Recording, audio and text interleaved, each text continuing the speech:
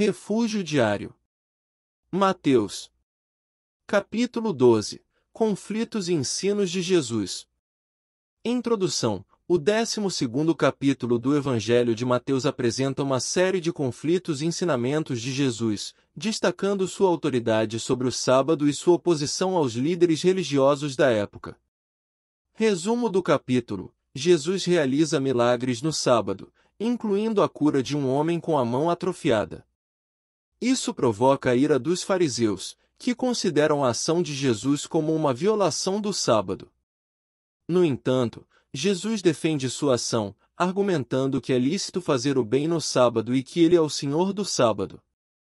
Jesus também confronta os fariseus e escribas que pedem um sinal miraculoso como prova de sua autoridade.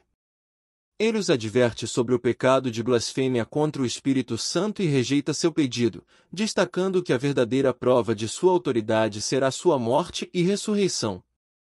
Em seguida, Jesus ensina sobre a árvore e seus frutos, destacando a importância de julgar corretamente e reconhecer falsos profetas por seus frutos. Ele adverte contra uma fé superficial e hipócrita, exortando seus seguidores a praticarem a vontade de Deus.